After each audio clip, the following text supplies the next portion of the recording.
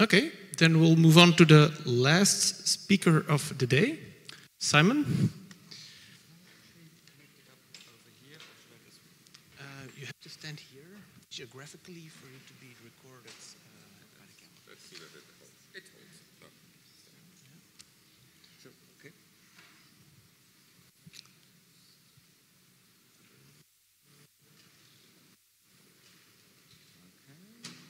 Okay, that looks good. Let's see.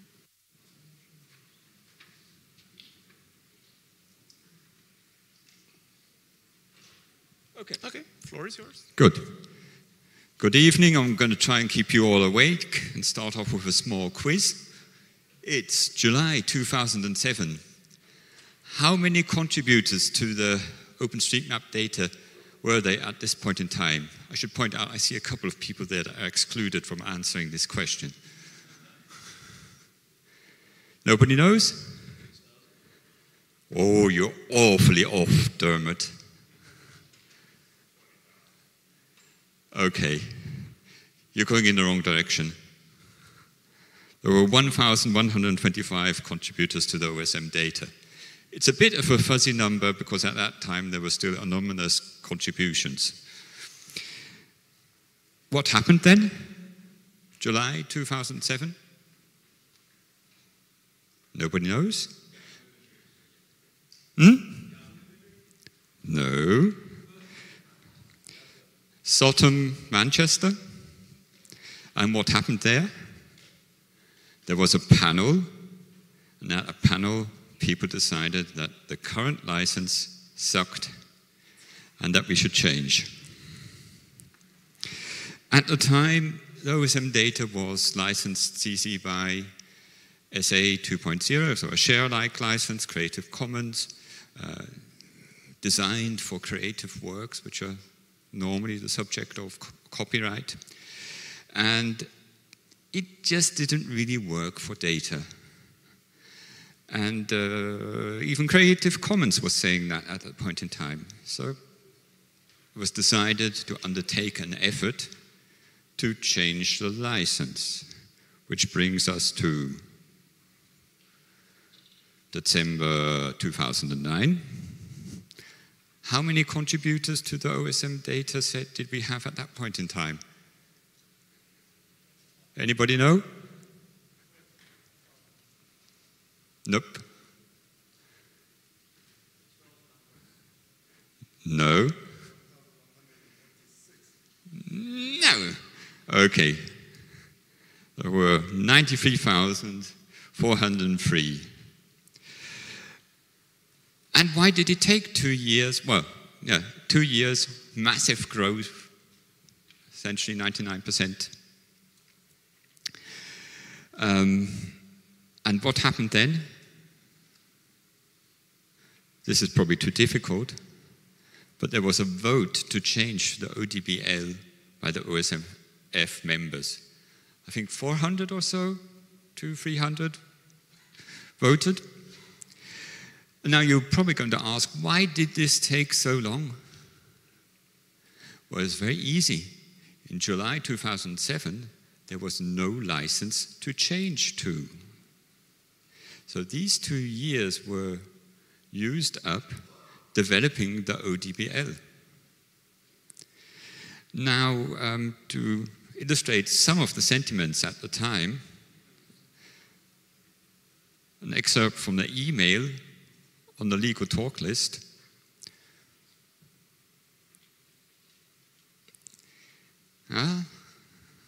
Certain interpretation of being rushed, I have to say. Okay, again, a year later, we have 118,000 OSM contributors. And this is an important number for the rest of the talk. What happened then? We actually introduced the new contributor terms for the sign up, where they already agreed that they would support the ODBL if we switched to it. This is more important than most people think because this was actually the point of no return. Because from then on, we had a contract with every new sign up that was different from what we had with the other 118,000 contributors.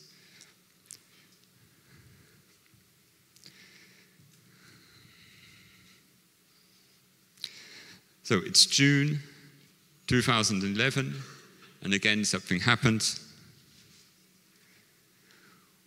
We stopped the decliners from contributing. They could still log in and so on, but they couldn't actually edit the map. And I should point out that there are many people in the audience here which know a lot more about this than I do, because this is about roughly when I became involved.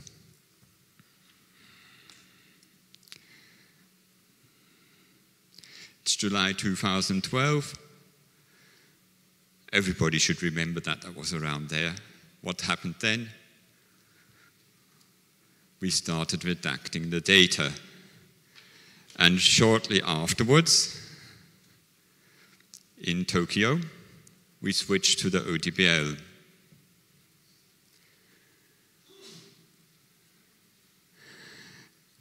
And you can see it took a long time, five years. And the question was naturally during the whole period, you know,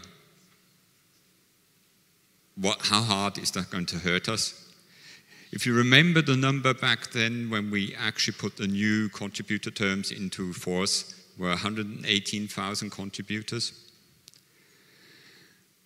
Of those 118,000, interesting enough, 20,000 didn't actually have any not deleted data in the database. And all our counts that we did never considered them.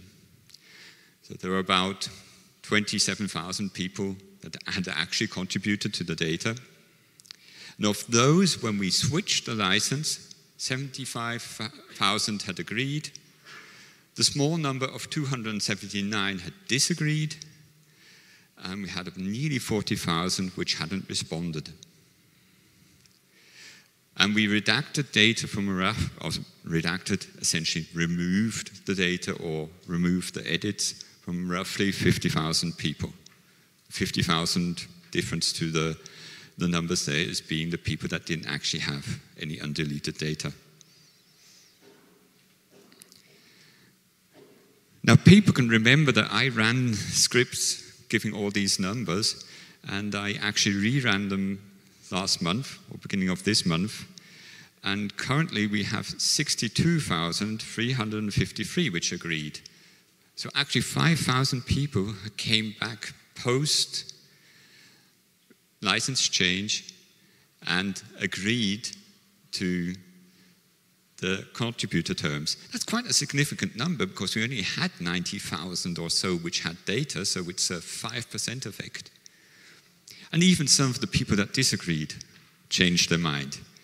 And luckily, that didn't really help because we had already deleted the data. Now, just to give you an idea of what the effect roughly was when we deleted the data, so roughly about 1% plus minus went away. Um, this is a bit pessimistic numbers because the projected numbers and not what we actually deleted, but it was not more than this.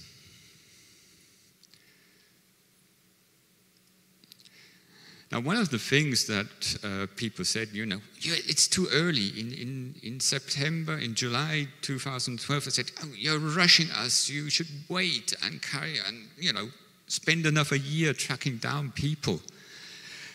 Well, you know, if you look at these numbers, and this is what if, so it's using the, the full history dump from July 2012, running the same scripts, but with the current um, number of people that had agreed, you will notice that the difference is very, very small.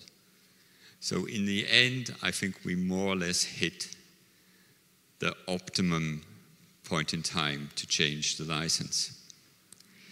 Now, the thing which I haven't listed and which you can't express in numbers is really the other part of the story, namely that between 2007 and 2012, the main topic in OpenStreetMap was the license change. And the concentration was completely on that, and lots of things didn't get done.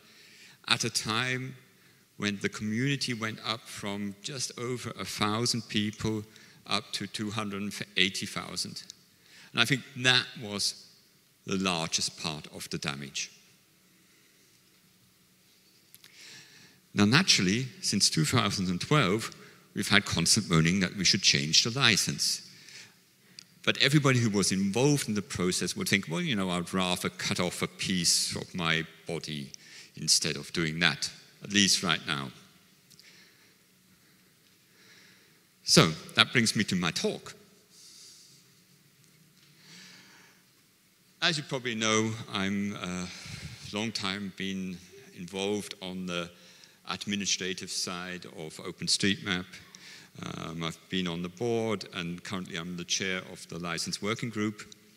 And what follows is more or less my brain dump about, you know, what are the issues right now, um, perhaps even saying that there are no issues right now, and uh, what our daily business is. One of the questions in preparing this, uh, this talk was, well, you know, we always say we need a license, and uh, we don't really clearly say what we want from that license. Well, one thing is clear our contributor terms that are essentially immutable, so that the license has to be free and open. So, essentially means doesn't discriminate against any kind of use. And a hot topic at least for historical reasons, we started off with a share alike license and we've continued that on. And there's no indication right now that a larger part of the community would want to change. I'm not saying that change is impossible or so on, but it's, there's not been a groundswell of support for changing to something else.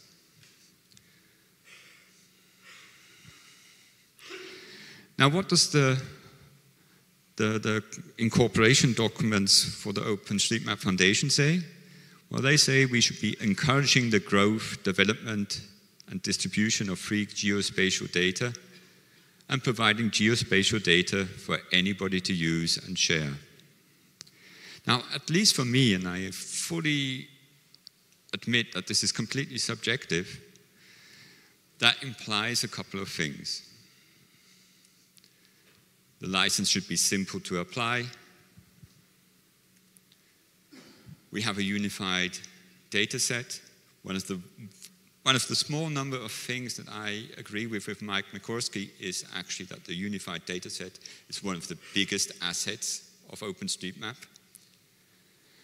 So we should have unified terms of use for our data to make it simple. And the other thing for making it easy to use our data for any consumers is that there should be a single licensor, so a single person who licenses the data and a single point of contact. Now, the license working group, and I have to admit that most of this work was done with little involvement on my behalf, has issued a number of guidelines which have gone through a community process of comments, not necessarily community approval, but which have in the end been agreed to by the board of the OSMF. There's a guideline on what substantial is, there's a guideline on what a produced work is, there's a guideline on trivial transformations, and so on. And all these are essentially there to clarify gray areas in the license. And don't believe that the ODBL is particularly complicated because we need all these guidelines. It's actually relatively simple, but the problem is naturally that we have geospatial data, and geospatial data is different than, say, if we be if we're applying it to Wikipedia data. So there are always clarifications needed when you're applying a license to a specific subject.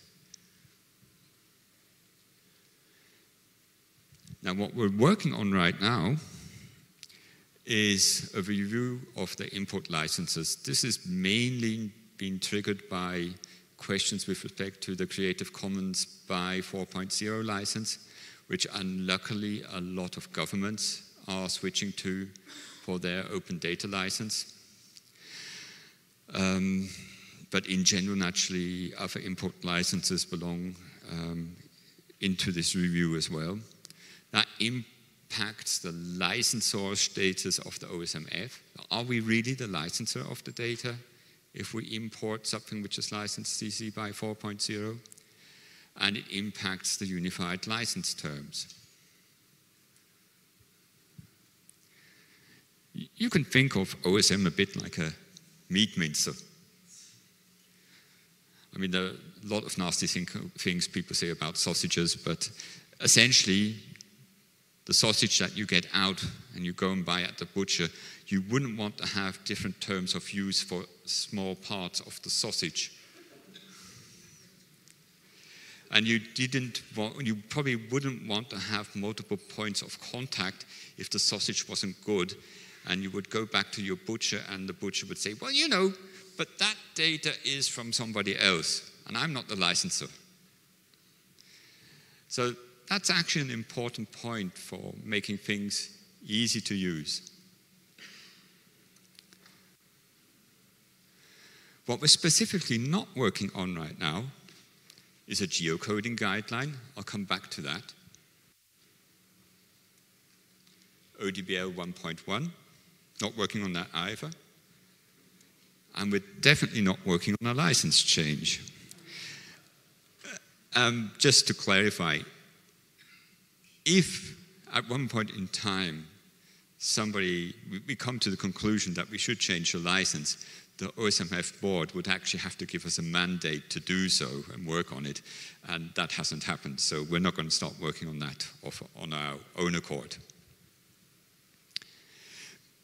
But when I had wrote, written all this down, I came to the conclusion, well, you know, that's our shopping list. And we're people which have been working with OSM for a long time. Some of us as legal are legal professionals and so on, and they all have different questions. So what I did was look at our legal questions mailbox, which we've had active since uh, January 2015. And I sifted through 321 mails and tried to categorize them. And the categorization is relatively rough, and I only took the main subject. So, in principle, you could have counted, double counted stuff, but I didn't do that. And uh, it's quite interesting. We had a fair large number, and continue to have a fair large number, of requests for media releases. So this is like Fox.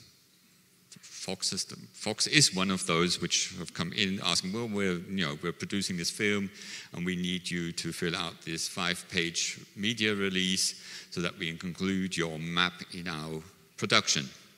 Naturally, you read through that five-page media release and you say, no way, because there's lots of stuff which you can't do, uh, like warrant that all the data is ours and so on. Um, the next one is commercial use. A lot of people seem to be of the opinion, yeah, well, they need special permission if they're using it in an app, or uh, uh, perhaps my app will have to be licensed on ODBL terms and so on. Um, that's a fairly common question. And the next one is the one you would expect. I'm using OSM data together with third party data, do I have, is, does share alike apply or doesn't it? And um, those are the most difficult ones, and the rest are essentially attribution questions. Where do I and how do I attribute? Then we have the couple of interesting ones like where do I, how much do services from the OSMF cost? Which I always answer with um, a long list of stuff that says, well, it's actually free, but you can go to a commercial service provider. So running out of time here. Already uh, touched on that, 321 total, 207 license or terms of service related. does not include two dozen or so that went to the legal working group directly. And yes, nobody inquired about bulk geocoding. Some of them might have, should have done that, but they didn't. And to finish off, experience, our current material and guidelines actually cover most of the use cases. For lots of people, the license terms seem to be more relaxed than they would actually experience, though all these people that are asking about commercial use. There's currently no good way to deal with releases for film, TV, and video. And the current tile license, which most of these media releases refer to, um, actually doesn't work at all. And it doesn't make sense. It's a historic leftover, leftover. And if we should change something, then we should probably change that. And only a very small number of the proposed data uses wouldn't actually be possible under our current license regime. So, nearly on time.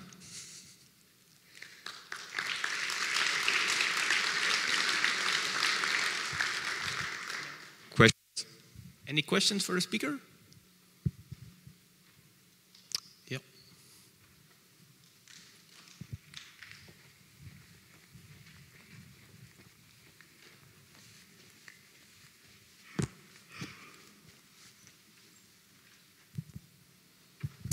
Thanks for the talk.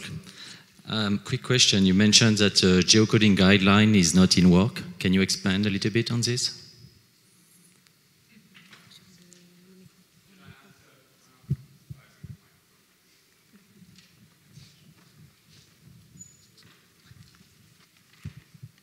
Um, I'm just saying that it currently isn't in work. Um, from a logical point of view, we wanted to get that collective database guideline out of the way because that is actually the foundation for any work that we do with, which has to do with using third-party data with OpenStreetMap data. And from a logical point of view, that should come first. It is not particularly high on our to-do list simply because, as I said, it's not something that people out, outside of the service provider ecosystem around OpenStreetMap ask for. So I'm not saying it's unimportant, it's just saying, you know, there's other stuff which we might be looking at. And the li license working group, sometimes we call ourselves the legal working group, uh, does do other stuff as well. So we have other documents in the work which are currently a bit more important.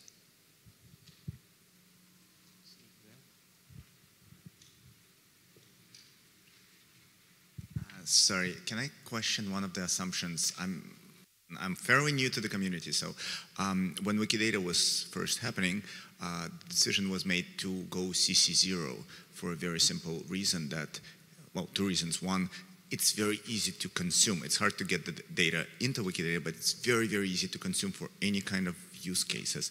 And second, data is fairly hard to license by definition of the data because like the height of Everest is not licensable. You can try collection license. So has there been much talk in terms of like switching away from the SA part to CC0?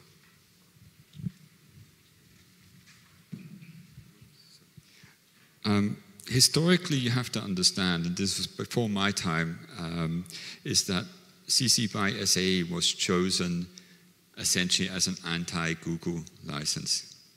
And by the way, we know that the same sentiments are in the Wikimedia Foundation in some places as well. Um, and it was discussed at the time very intensively, and that was the big argument, besides a couple of landsmen of mine which wanted to stick with CC by SA. Um, but everybody else, essentially the discussion was ODBL or PD or CC0.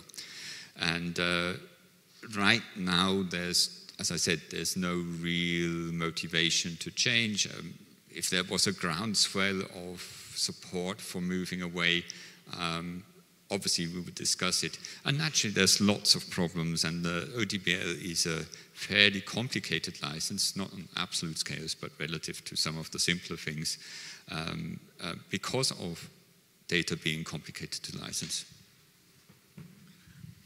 I'm on the data working group, so I can speak specifically to the idea of going to CC0, and it would involve removing basically all imported data outside the US, uh, probably hit around 40% of, the, say 20 to 40% of the data in OpenStreetMap, depending on how you measure it. Um, completely obliterate uh, all addresses, all buildings in some areas. Um, basically, going, switching to CC0 will not happen because it will exclude using most government open data, and it may, aside from that, it may conflict with the contributor term attribu attribution requirements. I mean, Paul just made it clear nobody would actually consider going to CC0. The, the effect of that would be disastrous. But you, you could discuss going to a, a attribution-based license of some kind. Um, but there's a lot of difficult details there.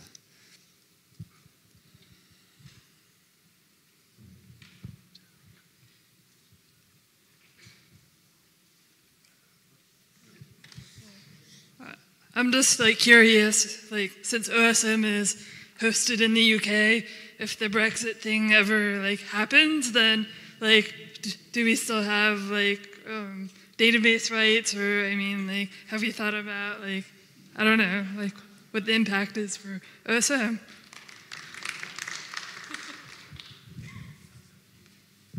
Well, the, the serious answer is nobody knows.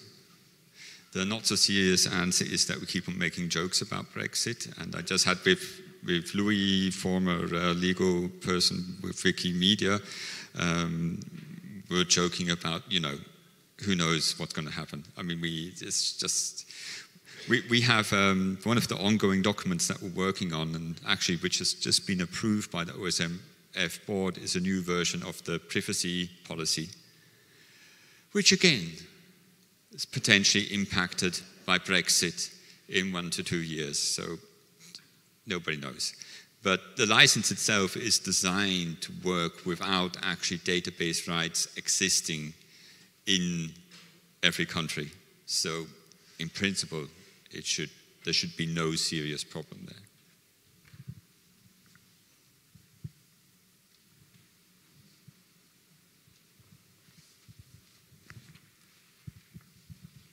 Uh, what, are the, what, are the, means of the foundation to check uh, whether people break the license? I mean, if we suspect some company is uh, using OpenStreetMap data and they don't share it alike with the, their own data, do you have a means to, to go and investigate what's going on and to prove it?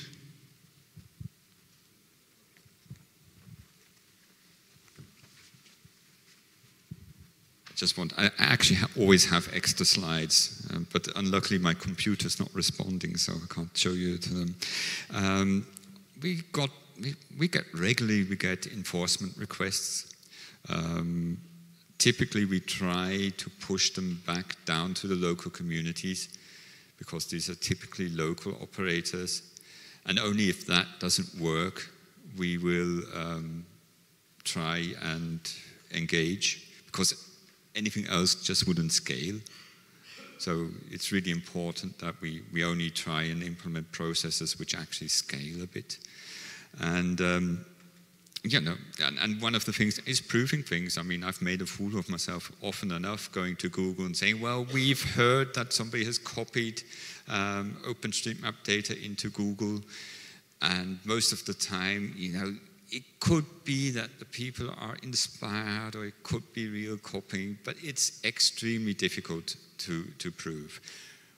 There are other things, non-attribution, um, using the whole data set in some way, which is naturally far easier to show. And, and uh, most of the time, it's just, you know, not people being nasty, just people saying, oh, we didn't realize that we had to do that. One last question.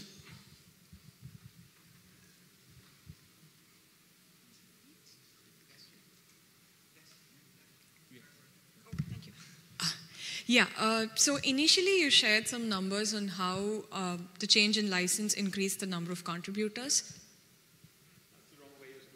Oh, so what is the right way? Because uh, my question was, how did the change in license sort of have an impact on the increase? The, the, the increase in users was completely uh, independent of the change in license. If, particularly the 2007 to 2009 increase, has mainly to do with Richard Fairhurst, who wrote Potlatch 1 at that time, and um, who's not here because the meeting was too hot. Um, but um, what, what the, the, impact is really um, was um, the, the, big problem was really that we didn't actually take the community, which grew so much in that time, through the whole process why we were actually changing the license. So it was a very small group, small panel in, in 2007, which essentially made the decision. And when the things happened, we had nearly 300,000 users. And uh, that's problematic and should be kept at the back of our heads for any future change that we need to manage that a bit better and faster if possible. So I think we're finished, huh? Okay. If you have any more questions, feel free to ask Simon later. Let's thank our speaker again for tackling this rather heavy uh, subject so late on a Friday evening. Uh, that concludes